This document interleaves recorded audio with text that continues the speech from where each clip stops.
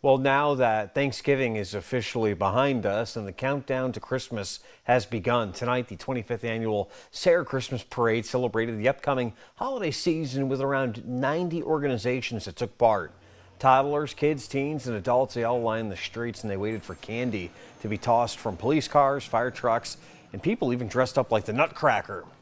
The parade began with local law enforcement agencies and police cars. They sounded their alarms and then the holiday music kicked in. Well, we are getting ready for the holidays and uh, doing a little Christmas parade. I think Santa's a good person and I, like I like Santa.